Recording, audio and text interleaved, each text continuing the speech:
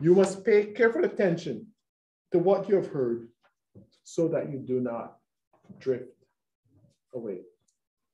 I looked across many translations and most of them use drift. A few use a few other words, but drift is the main idea. And I think I've established somewhat what drift is. Some of the other words that were used are slip, forget, glide, float, but you get the main idea, drift. I, I think I started there. One of the things that I sought permission on before we got started was whether I should mention, because we are a senior, generally senior crowd, our own sense as to how things may be drifting.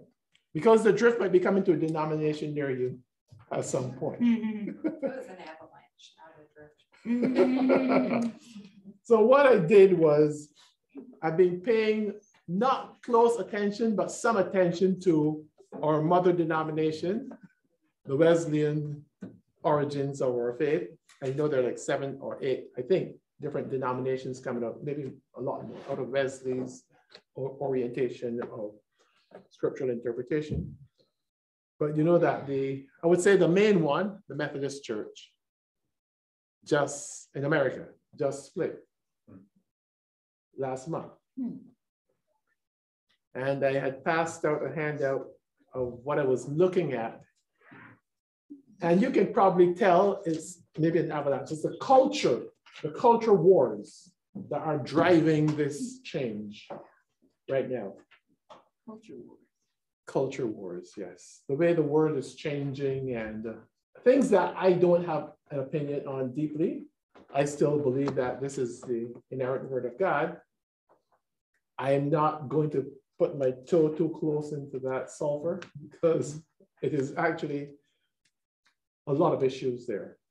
But I passed that out because I found this one site and I mentioned the website in case you want to check on it on the bottom of the first page. I mentioned People Need Jesus, I think it was the website. Mm-hmm. And it, it said, basically said what the issues were. But because it just happened on May 1, so the background, as far as I understand it, is that the, it's not synod, the last conference in 2016 was going to, had proposed some things to be voted on every four years, the 2020 mm-hmm. conference, and COVID obviously made that not happen. And they kept pushing back the conference, and now the next conference will be in 2024.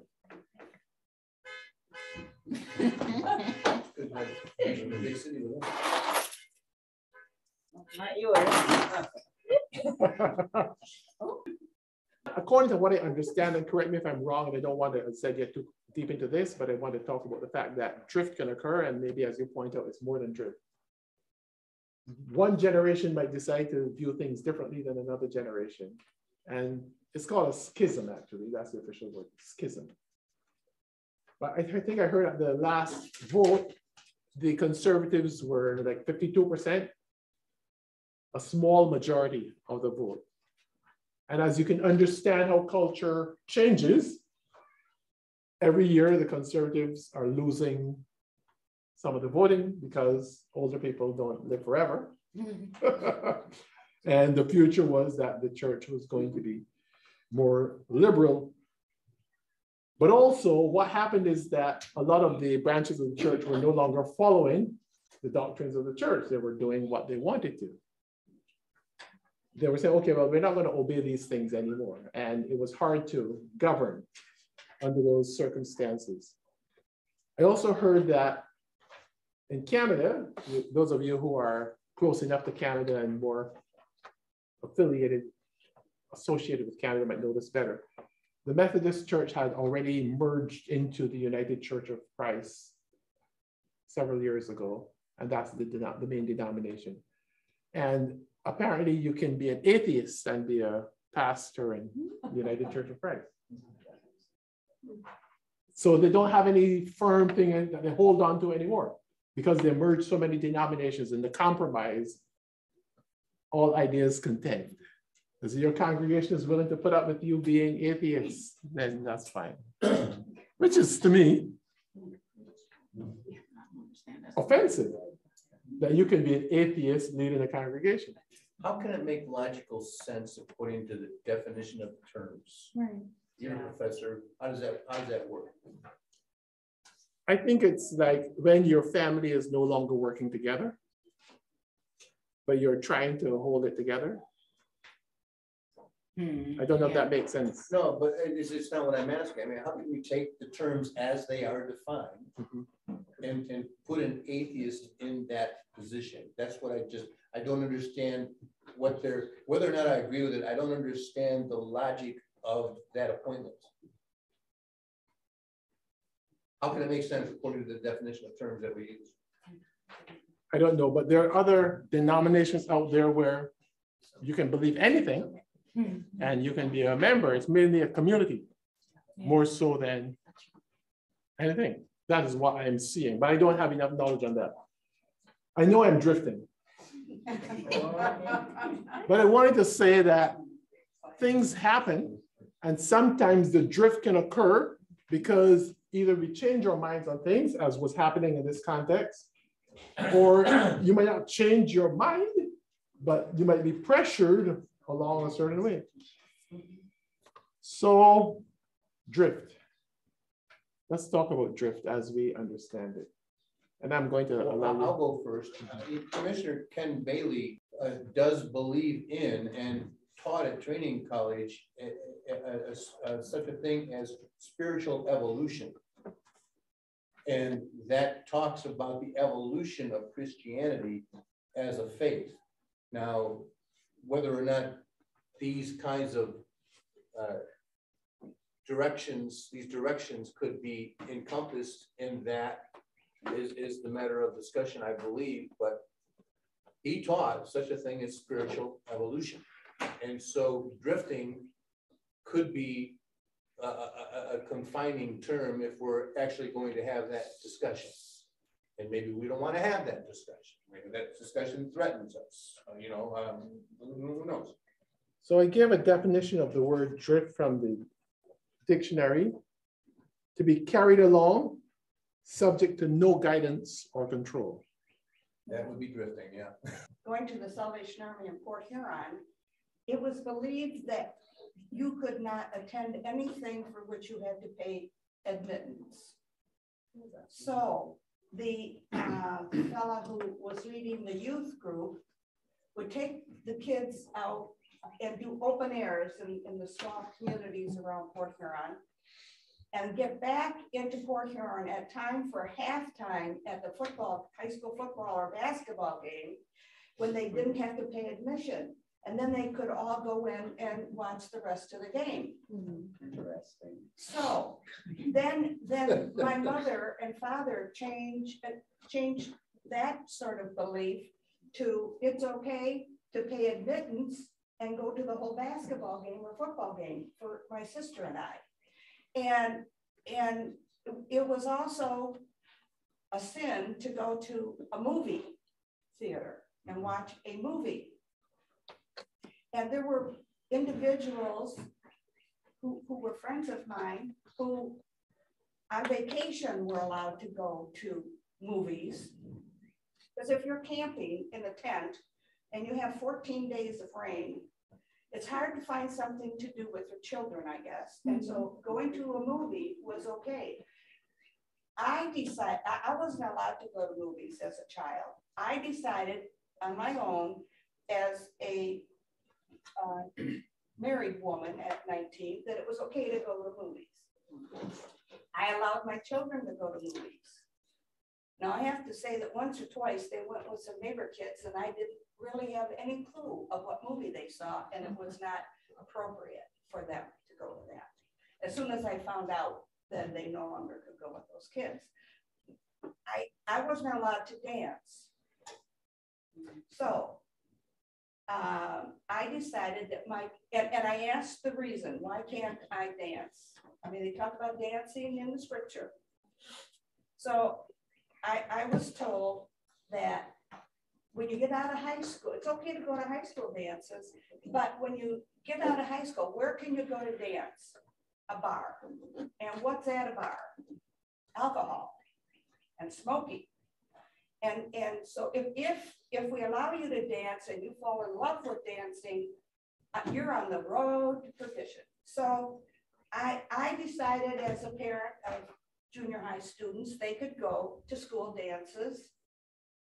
I thought those boys would probably not enjoy dancing and not go to the bar later. But one of them did manage to go to bars a lot without it, having it to be the dance. So uh, I was raised with a lot of man-made rules Yeah, that I asked why. I, I couldn't go to movies because on the movie marquee, it, it, it would say what, what movies are playing.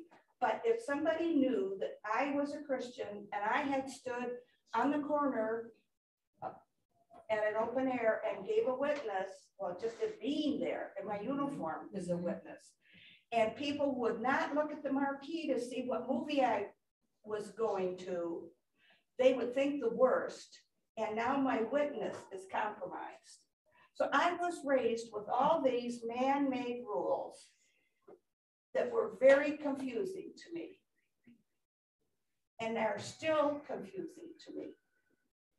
I, I have no problem with scriptural rules, but the man-made ones just drive me nuts. Well, it's okay to drift from those. There we go. Yeah. So, but, but, but you see, in my parents' view, drifting from those man-made rules was as bad as drifting. But that would be what's in a man's mind, not in God's. So we was God. But see how confusing that is? Mhm. But shouldn't parents have the authority Yes. to set rules for their children based on their own understanding of how things work and in their own faith? Otherwise, you will have a million different sets of rules and a million sets of households. I personally, I couldn't dance, but I should go to the roller skating race every Saturday night with the kids from the chorus. I snuck to two movies. And in both times, all the other youth at the Corps were at the movies. And I went around saying to them, don't tell your parents you saw me here, they'll tell my parents. does anyone else have a different, Well, I, I'd like to, like, to respond to that. I, I think one of the things that we need to keep separate in, in our thinking, or at least segregate in our thinking, is the difference between faith and practice. Mm-hmm. Faith requires certain things, but the practices of our particular organization are based on converting drunkards and getting them through the next twenty-four hours. That's where we started. The rule book is, is that thick, which tells them how to make their bed, how to leave their windows open so they don't die from the, the fumes of the fires that are eating their homes. Mhm. We've come from, we've come from the drumhead with the drunkard to a middle-class society. That comes under practice. And we have a very difficult time separating faith and practice in the modern day. I've lost 18 cousins uh, to the Salvation Army. Uh, we all grew up together at the Detroit Citadel Corps, and we all believed that those practices were a firm part of our faith. We should have segregated that conversation a long time ago. Thank you. Yeah. That, that's a confusion that begins. And, and in a lot of minds, you attach the same importance to the scriptural rules and the foundation of our faith as we eh, do to the man-made rules. So I, I, I think that, that there needs to be some drifting in the teaching perhaps, and perhaps there has been. you don't mean Don't say drifting. drifting, but I mean, if you're, if you're in the ARC with a mean guy that's on change. day three, and he decides he's gonna drift from the practice of sobriety, he, he could, he, he does die. He goes out and he dies. Yeah. And so, But there, does it, does it, back, back in those days, there was an urgency that says, you know, you might have eternal life, but you're gonna die if you make this mistake again. right, so he, he doesn't lose eternal life by drinking. But you can't have that conversation with a guy that's been sober for less than a week. No, but you can have that conversation with children as they're growing up. And young adults and, and, and other new people to the faith. Now, this becomes a complex conversation It because every teacher is not equally skilled. Every parent doesn't have the same orientation. And then you could try to bring together 50 different households with so many different sets of rules that you can't do anything. So you have to at least lay the foundation and say, well, if you want to be a part of this community, here are the boundaries that we're going to set. There are other communities to which you could belong, but this community will set a certain standard. And that's the way we have hundreds of different communities. Right. And, and like I said, when I went to the movie, there, there were all the other kids from the Corps. And, and, but I was to set an example because I was the Corps officer's daughter. And I think that that was too much of a burden. It was too mm-hmm. much of a burden for my sister. I, I succumbed to most, I had questions, but I, the, these, these are the rules of our home and I will, except for sneaking. I never went to a dance. This is confession. But it is, but it is confusing. What, what are the, the foundational things of scripture that, that we need to teach people, that people need to learn? You know, I think the point was made that behavior is also important. So you might say here's scripture, but in different cultural contexts, as John is saying, you need to add to that. I, uh, I grew up with those same rules. And the older I get, the more reasonable I think they are. But it's teaching kids submission to authority. Yeah. And if we can't submit to the parent in the home, how will we submit to God? Okay, but with it, with, to, to add to my confusion was that the parents of these kids that were doing things I wasn't allowed to do were leaders in the church.